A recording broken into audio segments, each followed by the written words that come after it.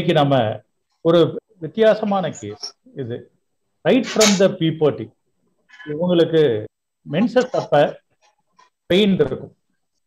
Right from the puberty மென்சஸ்னா start ஆக ஆரம்பிச்சிட்டாவே அவங்களுக்கு பெயின் தொடங்கிடும் அதுக்கு முன்னாடியே அந்த சிம்டங்கள்லாம் வர ஆரம்பிச்சிருச்சுன்னா அவங்களுக்கு பயம் வந்துடும் எப்ப பீரியட் முடியுதோ அப்பதான் அந்த பெயின் வந்து நிற்கும் பெயின்னா வெஜினல் பெயின் இருக்காது. இல்லைன்னா அப்டாமினல் பெயின் இருக்காது. ரெக்டத்துல பெயின் இருக்கும். அதுவும் குறிப்பாக மோஷன் போகும்போது கடுமையான பெயின் இருக்கும். கடுமையான பெயின் இருக்கும். மோஷன் போகும்போது. அவங்களால அது என்ன செய்யறதுன்னே தெரியாது. மோஷனும் போக முடியாது. மோஷன் போனாலும் தாங்க முடியாது. அப்படி மோஷன் போகும்போது உள்ளுக்க ஏதோ ஒண்ணு தள்ளுற மாதிரி இருக்கும். அவங்க சொல்ற வார்த்தை அவங்களோட நெரேஷன் வந்து தள்ளுற மாதிரி இருக்கும். ஏதோ உள்ளுக்கு இருந்து அப்படியே புஷ் பண்ற மாதிரி இருக்கும். அதுக்கடுத்து பாத்தீங்கன்னா அந்த பெயின் வந்து வெஜினா ஏரியா எல்லாமே வர ஆரம்பிச்சு அங்கெல்லாம் ரொம்ப வீக்கம் ஸ்வெல்லிங் அதிகமாக ரெட்னஸ் கிரியேட் ஆகும் ஒரு நாலு நாள் அவங்க சொல்றாங்க மரண வேதனை அப்படின்றாங்க. அஞ்சு நாள் மென்சஸ் இருந்துச்சுன்னா அஞ்சு நாளும் மரண வேதனை. இவங்க என்னை வந்து பார்க்க வராங்க. ஒரு டாக்டர் மூலமா என்னை ரெஃபர் பண்றாங்க என்னை வந்து பார்க்க வராங்க. இப்ப அவங்களுக்கு வயசு வந்து முப்பத்தி ஒன்பது. அவங்களுக்கு குழந்தை இல்லை. எப்ப வயதுக்கு வந்தாங்களோ அன்னையிலிருந்து இன்னைக்கு வரைக்கும் இந்த பீரியட் அப்ப கடுமையான வழி கொஞ்சம் கூட ஒரு பீரியடாவது அவங்க நிம்மதியாக இருந்ததில்லை. இந்த சூழல்ல அவங்கள நான் எப்படி புரிஞ்சுக்கிறது எப்படி மருந்து எடுக்கிறது அவங்க அட்ரஸ் பண்ணதெல்லாம் அந்த இடம் வந்து குறிப்பாக வெஜினா ஃபுல்லா எரியுது அப்படின்றாங்க. பயங்கரமா எரியுதுன்னு சொல்றாங்க. ரெக்டமும் எரிச்சல் இருக்கு. ஆனா ஏதோ ஒண்ணு தள்ளுது. ஏதோ ஒண்ணு தள்ளுது. அப்படியே உள்ளுக்குள்ள அப்படியே செய்யுது அப்படின்றாங்க. அவங்களால சொல்ல தெரியல. உள்ளுக்கு தள்ளுது தள்ளுதுன்னு சொல்றாங்க. கை அசைவு வந்து இப்படி இப்படின்னு சொல்லுது கை அசைவு இப்படிதான் சொல்லுதே தவிர உள்ளுக்கு தள்ளுது தள்ளுதுன்னு சொல்றாங்க. பயங்கரங்கிற வார்த்தை ரொம்ப அதிகமாக பிரயோகம் பண்றாங்க. எரிச்சல் அப்படியே அனல்ல குதிக்கிற மாதிரி இருக்கு. ஸ்டவ்ல வச்ச மாதிரி இருக்கு அப்படின்றாங்க இவ்வளவு கடினம் இவ்வளவு கொடூரத்துல இருக்கிற ஒரு நபரை ஒரு துயரரை நம்ம எப்படி ட்ரீட் பண்றது? ரொம்ப கஷ்டம். ஆனா அவங்க பாக்குறதுக்கு ரொம்ப அழகா இருக்காங்க. வார்த்தை ஃபுல்லா இந்த பயங்கர பயங்கரங்கிற வார்த்தை வருது. எரிச்சல் அதிகமா வருது. அழகாவும் இருக்காங்க. அப்ப நம்ம என்ன மருந்து தரலாம்? ரொம்ப எளிமையான மருந்து பெலோடோனா ஏன்னா பெலோடானா கொடுத்துருக்க மாட்டாங்களா மற்ற டாக்டர்கள்லாம் கட்டாயமாக கொடுத்துருப்பான்.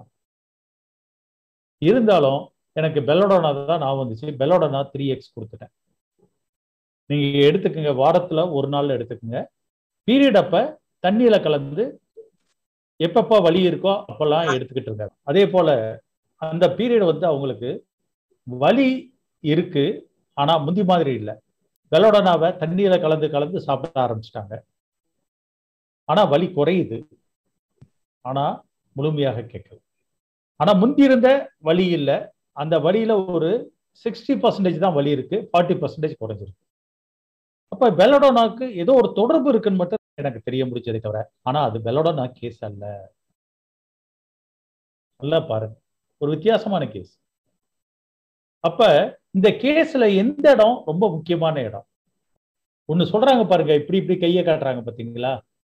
இந்த இடம் தான் நமக்கு தெரிய வேண்டிய இடம். இதுக்கான லாங்குவேஜ் வரல. நான் வெர்பல் கம்யூனிகேஷன் மட்டும் தெரியுது. ஆனா வெர்பலாக இதை சொல்ல தெரியல அவங்களுக்கு. செகண்ட் டைம் வர்றாங்க. வரும்போது அவங்ககிட்ட இப்படி இப்படின்னு சொல்றீங்களேம்மா. வலிய அதை மட்டும் எக்ஸ்பிளைன் பண்ணுங்க அப்படின்னு சொன்னேன்.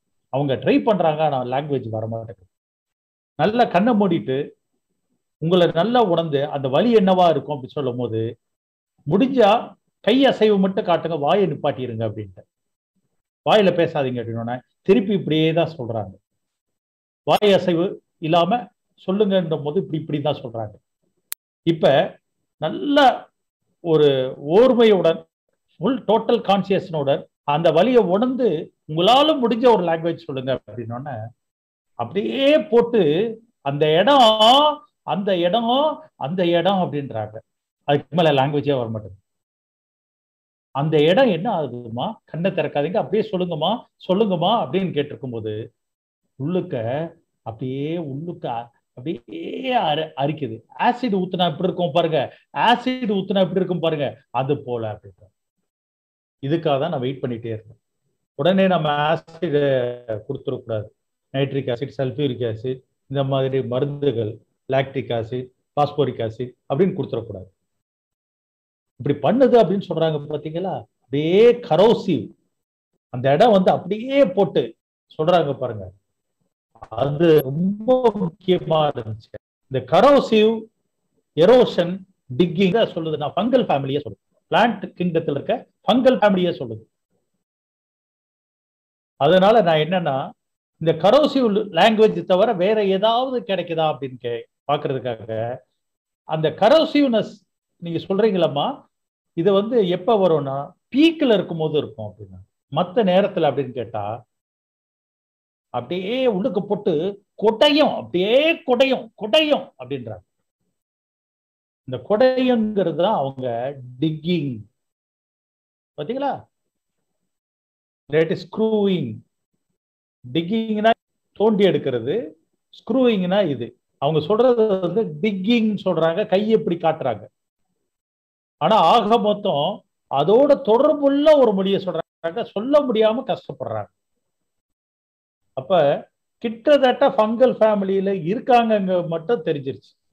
அப்ப இந்த ஃபங்கல் ஃபேமிலியில இந்த கஷ்டத்தை உணர்ற மாதிரியான மயாஸ்மெட்டிக் ரெமடி எதுவா இருக்கும் அப்படின்னு பார்த்தேன். இது மலரியல் மியாசம் உள்ள ஒரு மருந்து தான் இருக்க முடியும் அப்படின்ட்டு பாலிப்ரஸ் பிலிகோனா அப்படிங்கிற மருந்தை உங்களுக்கு ப்ரிஸ்கிரைப் பண்ணேன். சிக்ஸ்ல ஒரே ஒரு டோஸ் மட்டும் எடுக்க சொன்னேன். எடுத்தோன்னே பீரியட் வந்து வருவதற்கு முன்னாடி அப்படியே வெஜினல் ஸ்வெல்லிங் அதிகமாகி அந்த இடத்துல ரெட்னஸ் ஃபார்ம் ஆரம்பிச்சிருச்சு. வலி தாங்க முடியாம ஆயிடுச்சு. இப்ப எனக்கு ஃபோன் பண்றாங்க என்ன பண்றது? அப்படின்னு கேட்கறாங்க எனக்கு ஒண்ணுமே புரியல. பாலிப்ரஸ் பிலிகோனா கொடுக்கறதா? ஆனா அந்த ரெட்னஸ் அந்த ஸ்வெல்லிங் அவங்க பேசுற லாங்குவேஜ் எல்லாம் இருக்கு பாருங்க. பயங்கரமா எரியுது அந்த இடம். ரொம்ப கஷ்டமா இருக்கு. அனலா கொதிக்குது. இந்த வார்த்தையெல்லாம் பெல்லோடனா திருப்பி வரும். அப்ப பெல்லோடனா எடுக்க சொன்னேன் திருப்பி. ஒரே ஒரு டோஸ் மட்டும் எடுக்க சொன்னேன். எடுத்துட்டு ரெண்டு மணி நேரத்துக்கு கழிச்சு கூப்பிட சொன்னேன். ரெண்டு மணி நேரம் கழிச்சு பாத்தீங்கன்னா அப்படியே வலி குறைய ஆரம்பிச்சிருச்சு. அந்த பீரியட் அவங்களுக்கு இது வரைக்கும் அவங்க இன்னைக்கு பிப்போட்டியில இருந்து இப்ப முப்பத்தொன்பது வயசுல இருக்காங்க. அந்த காலகட்டம் வரைக்கும் அவங்களுக்கு ஒவ்வொரு பீரியடும் பெயின்ஃபுல் பீரியடாக தான் இருக்கும். மரண வேதனையாக தான் இருக்கும். இந்த ஒரு பீரியட் தான். வழியே இல்லாமல் இந்த பீரியடை கடந்து போயிருக்காங்க. இப்ப இந்த கேஸ்ல பெலோடனா ஒர்க் பண்ணிச்சா பாலிப்ரஸ் பிலிகோனா ஒர்க் பண்ணிச்சான்னு நமக்கு தெரியாது. கண்டுபிடிக்க முடியாது. ஆனா பெலோடனா கொடுக்காம இருந்தா அவங்க ரொம்ப கஷ்டப்பட்டு இருந்திருப்பாங்க அதனால பெலோடனா தான் வேலை செஞ்சிச்சுன்னு நம்ம சொல்ல முடியாது. ஏன்னா இதுக்கு முன்னாடி பெலோடனாலாம் கொடுத்து வேலை செய்யல. அதாவது ஒரு ஃபார்ட்டி பர்சன்டேஜ் தான் குறைஞ்சதே தவிர சிக்ஸ்டி பர்சன்டேஜ் அப்படியே தான் இருக்கு. ஆனால் பாலிப்ரஸ் பிலிகோனா கொடுத்துட்டோன்னே இடையில பெலோடனா இருக்கு. அப்போ இந்த காம்பினேஷன் ஆஃப் தீஸ் டூ இருக்கு பாருங்க. Polyporus pinicola as well as belladonna இந்த ரெண்டோட காம்பினேஷன் தான் அவங்கள முழுமையாக குணப்படுத்தினது என்ற ஃபைண்டிங்ஸ்க்கு நான் வருகிறேன். ஒரு மருந்துல தான் இருக்கணும் ஒரு மருந்து தான் சொல்லணும் அப்படின்னு பிடிவாதமெல்லாம் பிடிக்க வேண்டிய அவசியம் இல்லை. ஏன்னா பாலிப்ரஸ் பிலிகோனா கொடுக்கும்போது அந்த அக்யூட் மேனிஃபெஸ்டேஷன்ல பெலோடோனா உபயோகமா இருக்கும்.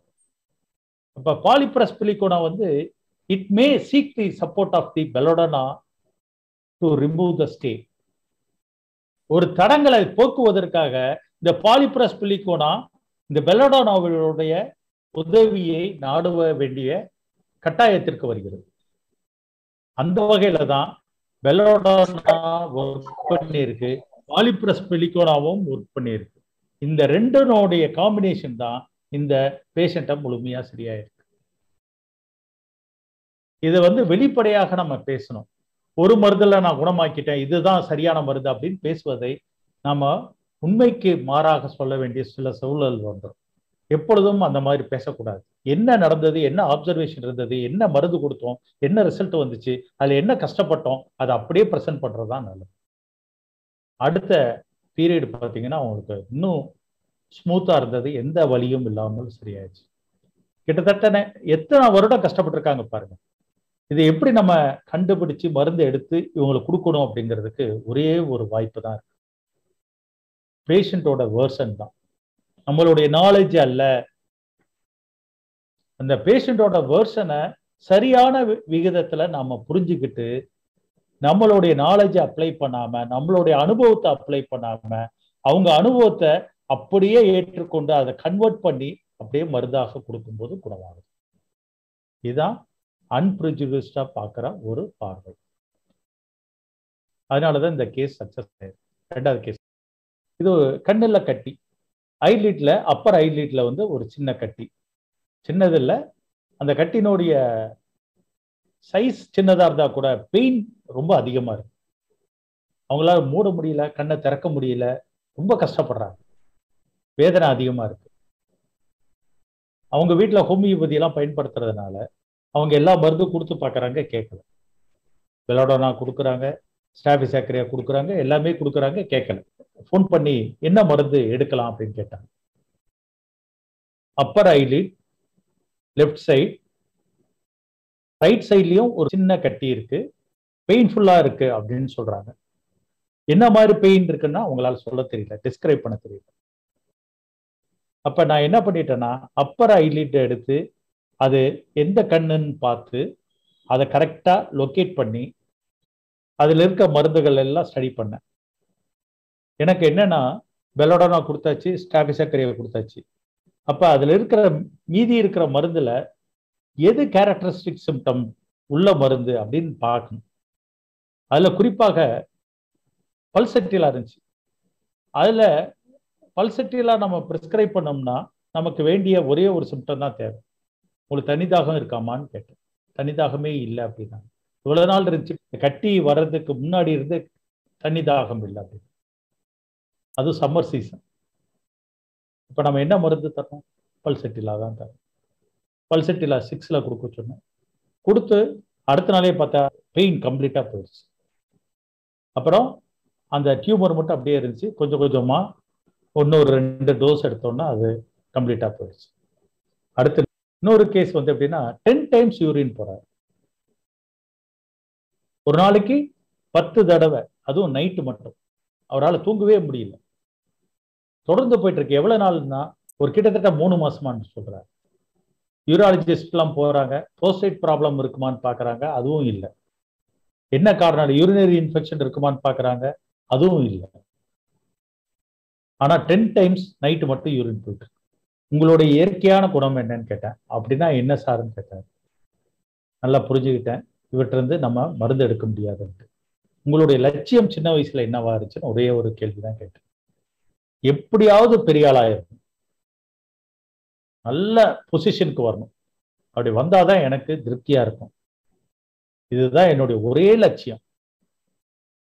யூரினரி ப்ராப்ளம் வாழ்க்கையில முன்னேறணும். ரெண்டையும் ரெப்ரசன்ட் பண்ற ஒரே மருந்து எதுன்னா lycopodium to reach the top rank in the ladder சமூகத்துல ஒரு நல்ல உயர்ந்த அந்தஸ்து வரணும். இது லைக்கப்படுத்தினுடைய பேராவல். அதே போல் யூரினரி ட்ராக்டில் வர பிரச்சனைக்கு லைக்கப்பொடியும் வேலை செய்யும். அதனால் லைக்கப்பொடியும் தான் கொடுத்தேன். கிட்டத்தட்ட என்னைக்கு சாப்பிட்டாரோ அடுத்த நாள்லேருந்து ஃபைவ் டைம்ஸ் ஆயிடுச்சு. அப்படியே படிப்படியாக குறைஞ்சி அவர் வரவே இல்லை. இடையில ஒரு மூணு மாதம் கழிச்சு திருப்பி ஒரு தடவை அஞ்சு தடவை போதும் சார்னார் நூறு மாத்திரை போடுங்கன்னு சொன்னேன். போட்டோன்னு சரியாயிடுச்சு. லைக்கப்பொடியும் த்ரீ எக்ஸ் தான் கொடுத்தேன். கடைசி ஒரு கேஸ் இந்த கேஸ் எப்படின்னா அவங்களுக்கு டயரியா போயிட்டே இருக்கு. வயிறு எல்லாம் ரம்ப்ளிங் சவுண்ட் பயங்கர ஃபிளாட்டுலன்ஸ் ரம்ப்ளிங் சவுண்ட் இருந்துட்டு இறைச்சலா இருக்கு இறைச்சலா இருக்குன்றாங்க. போயிட்டே இருக்கு டயரியா ரொம்ப கஷ்டப்படுறாங்க. இந்த மாதிரி கண்டிஷன்ல நம்ம என்ன மருந்து கொடுத்தா ரொம்ப நல்லா இருக்கும் அப்படின்னு கேட்டா என்னுடைய அனுபவத்துல இது வரைக்கும் நான் என்ன பண்ணுவேன்னா ஆர்ஸ்னிக் ஆல்பம் கொடுத்தேன். அவங்களுக்கு ஆர்ஸ்னிக் ஆல்பம் தேர்ட்டியில் கொடுத்தேன். தொடர்ந்து நாலு நாள் எடுத்துட்டு அஞ்சாவது நாள் கூப்பிடுங்க அப்படின்னு.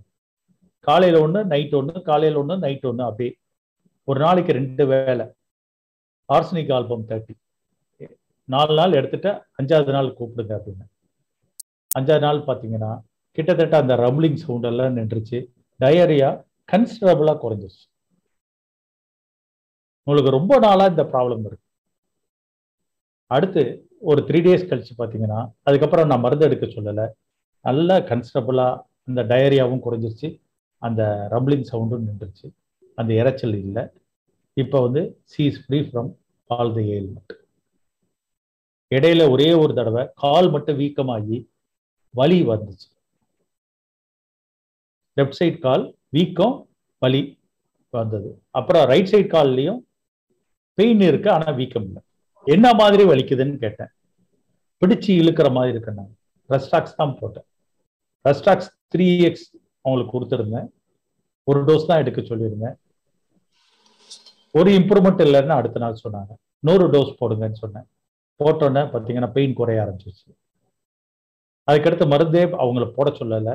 ஒன் வீக்கில் பார்த்தீங்கன்னா அந்த ஸ்வெல்லிங் எல்லாமே கம்ப்ளீட்டாக குறைஞ்சி வீக்கம்லாம் போய் பிட்டிங் எடிமா வேறு இருந்தது. அது முதற்கொண்டு குறைஞ்சி நீ பெயின் அந்த ரைட் சைடில் ஒரு பெயின் இருந்ததுன்னு சொன்னேன் இல்லையா? அதுவும் போயிடுச்சு லெஃப்ட் சைடில் இருக்க பெயினும் போயிடுச்சு அந்த இடிமாவும் குறைஞ்சிருச்சு. நார்மல் ஆயிட்டாங்க.